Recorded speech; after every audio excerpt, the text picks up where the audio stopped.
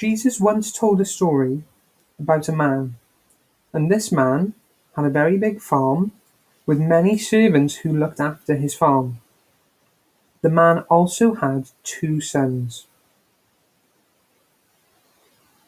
One day, the man's younger son came to his father and said this Father, I know that when you die, my brother and I will inherit things that belong to you money, land. Well, I want my part of the inheritance now. I don't want to wait. Whatever I would get when you die, I want you to give it to me now. This was an incredibly heartless thing for the son to ask. He was effectively saying to his father that he wouldn't have minded if he died. It was a terrible thing for him to say. All he cared about was his part, his share of the inheritance. This made the father incredibly sad. But he agreed. He agreed to give his younger son his share of the inheritance. The younger son left his father, left his home, and went to a faraway country. He completely turned his back on his family. And when he got to the faraway country, he wasted all of the inheritance, all of his money, on parties, on things, on possessions, on experiences. He threw everything that he had had from his father away.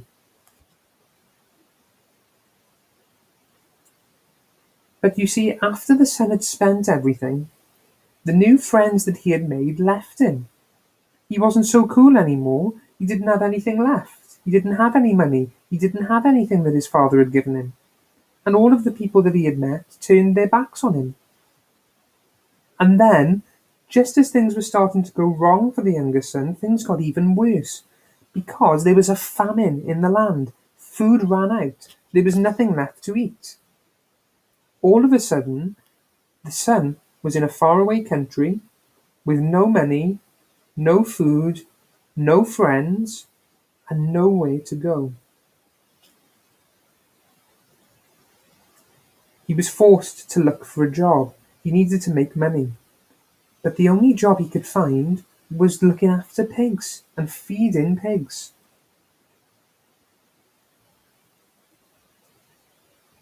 He spent many days and many nights feeling very lonely and very hungry.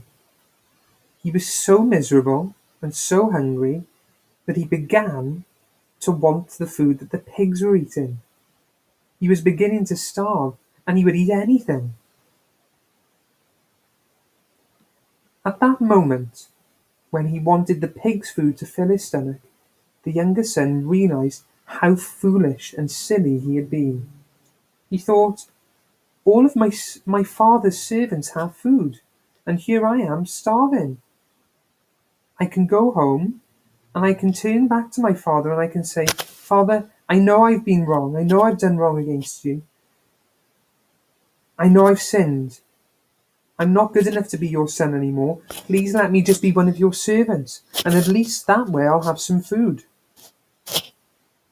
So that's what he did he set off on the long journey home, back towards his father.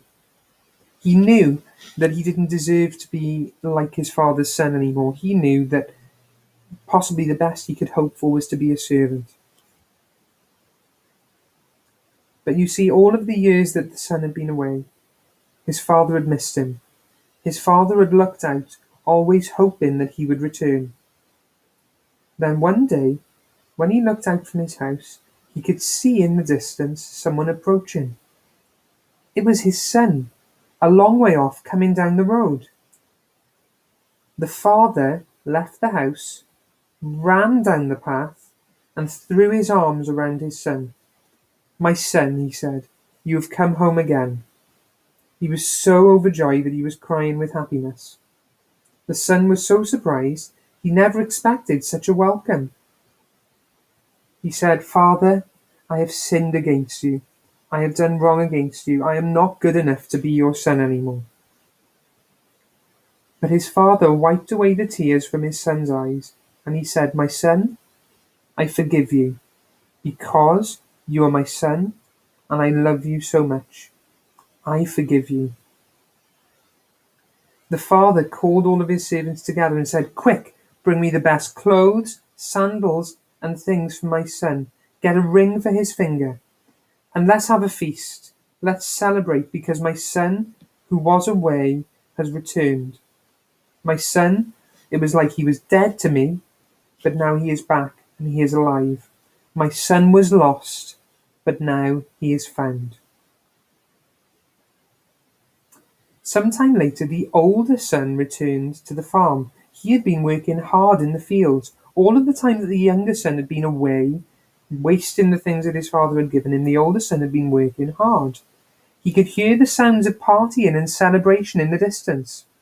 A servant told him, Your father is celebrating because your younger brother has returned home safe.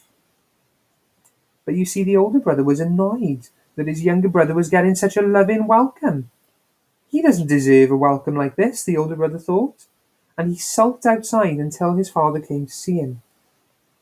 I have been working for many, many years, and you have never had a celebration feast for me.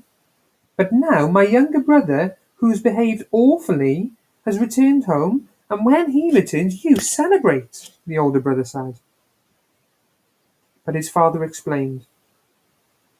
He said, You have always been with me, and everything I have is yours.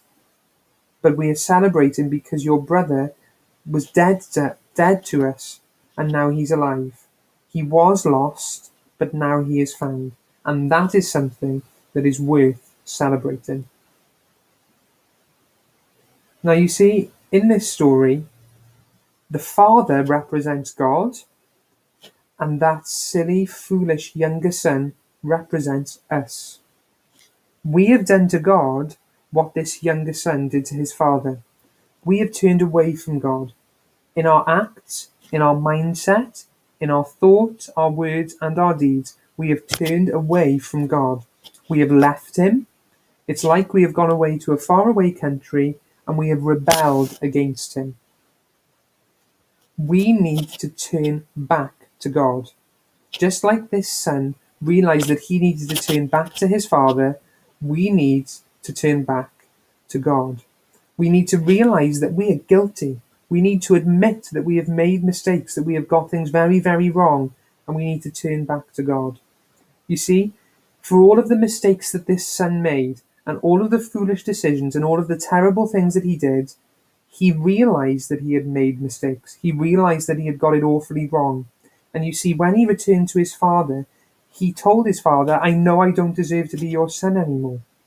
And that's what we need to do. We need to turn back to God and we need to tell him that we understand we don't deserve his love. We don't deserve his love. Just like this younger son didn't deserve his father's love anymore, we don't deserve God's love.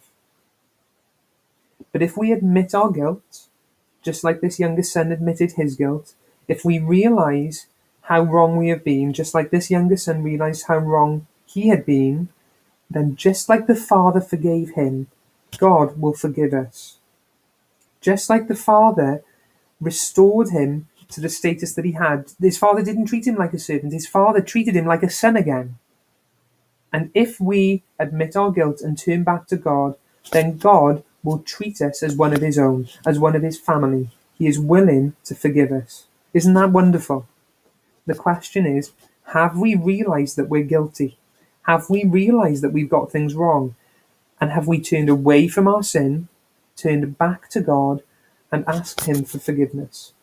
Because if we do, this story tells us, and God promises us, that He will forgive us.